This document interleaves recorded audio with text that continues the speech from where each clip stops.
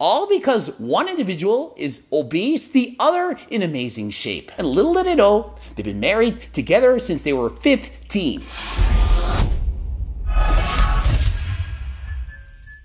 Coach Greg, and what is wrong with people? We have a happily married couple with one individual in amazing shape, bodybuilder, the other obese. People judging them, saying, What is wrong with this guy?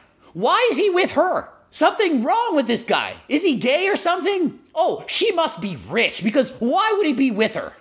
Shame on you. And so she's famous on TikTok, her and her husband Scott, and she quite literally lives in Halifax. Gone to parties, gone to dinner, eaten with both of these individuals. A great couple.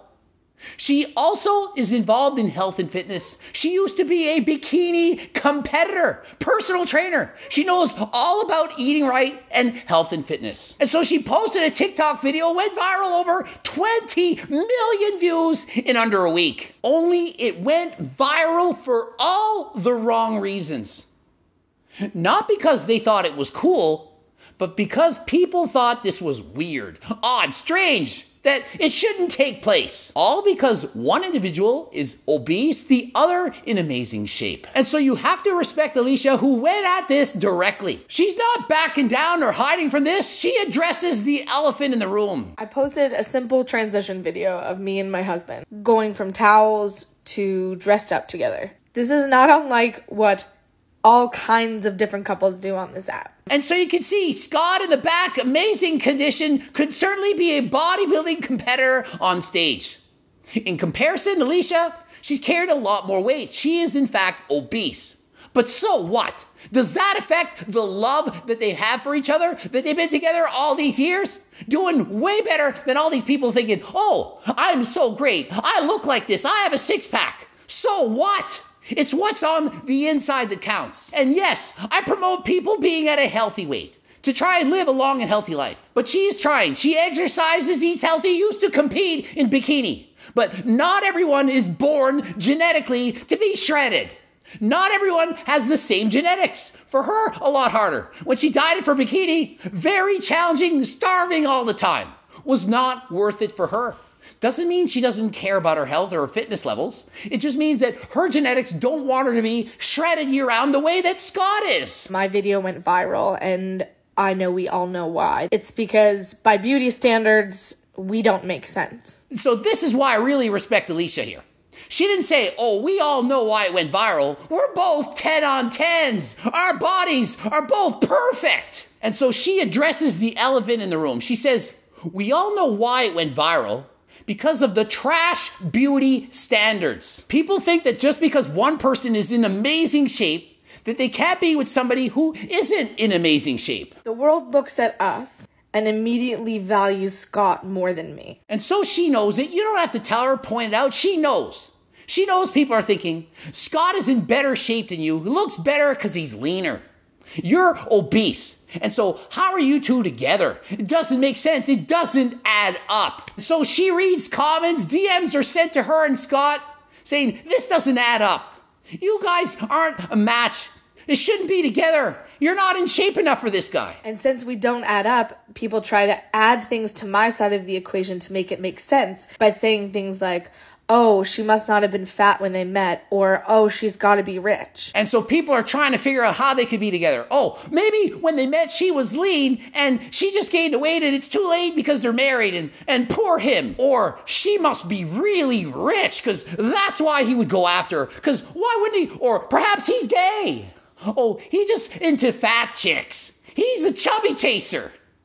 No, why? Why would you think that? Could it be that she has a great personality, that they've been in love, that he loves her for her, and that it doesn't matter what's on the outside? Could it not be that? Is that not the simplest answer than thinking, oh, she must be rich? She must have been skinny when they met and something went wrong. Why would you think that? And so it's really sad to see that this behavior is going on and they have to go through this. But more power to her for calling it out, making videos and saying, What is wrong with you? Why are you doing this?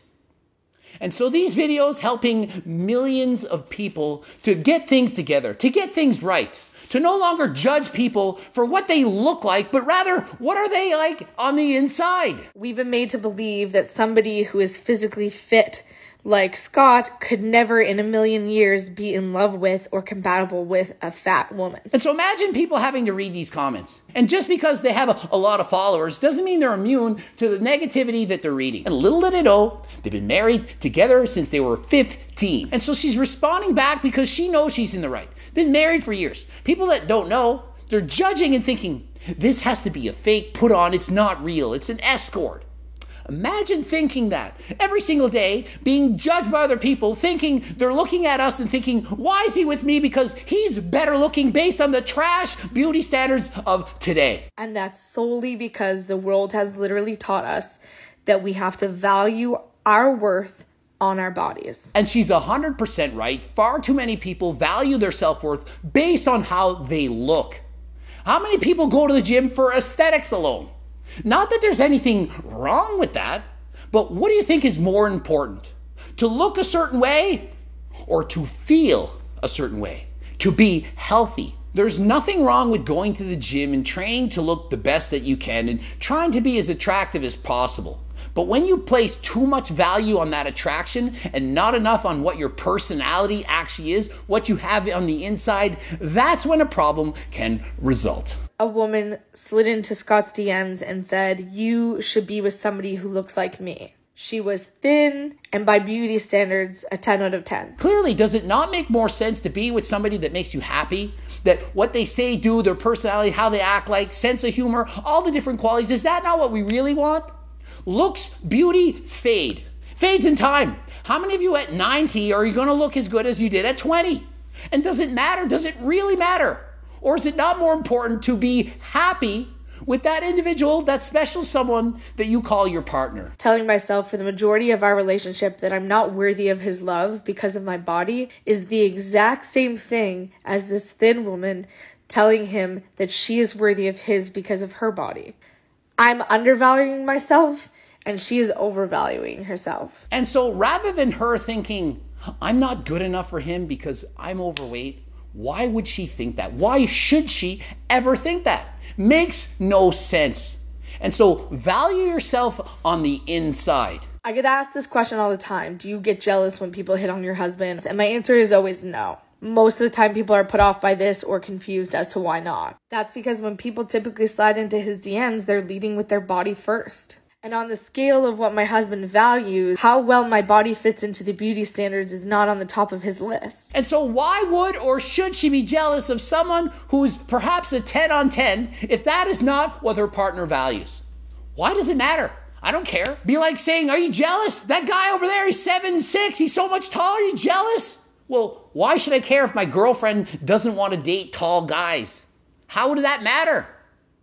If height isn't important, is that really going to affect if you're jealous or not? And if you actually love your partner and are not worried they're going to cheat on you, then why would you be jealous? In fact, my opinion, rather than being jealous, you could say, hey, that's great. People like my partner. They think they're attractive. Hey, that's a bonus. How's that bad? And so to me, if you're that jealous, probably because there's something wrong with the relationship. If you don't trust your partner, you think they're going to be cheating on anybody who's more attractive than you, then there's something wrong in that relationship. And I get it. If this is the way you think, it's the way you've been taught. However, it is your responsibility to unlearn it. Just because you were taught or raised this way doesn't mean it's proper, doesn't mean it's right. It's your job to unlearn it. Consider this analogy blacks and whites, oh, I'm not racist, but they shouldn't mix, they shouldn't date, they shouldn't be together. That's a common thought 100 years ago. A lot of people thought black people date black people, white date white. This is ridiculous. Today we know this, but a lot of people 100 years ago, they would have been raised to think that. And so if you were raised to think that, or if you think that right now, it's your job, your responsibility to stop thinking that way. Start reading more, educate yourself. Why would that be a problem? And so I'm sure that most of the people watching this video realize black, white, together, dating, married, fine. What's wrong with that? Of course they should. And so, how is it different? Tall, short, Fat, thin, muscles, no muscles. And so none of this matters. These outward beauty standards, what truly matters is what's on the inside and that you treat your partner with respect. And so a lot of people think that my channel is one to shit on people who are overweight. Not the case.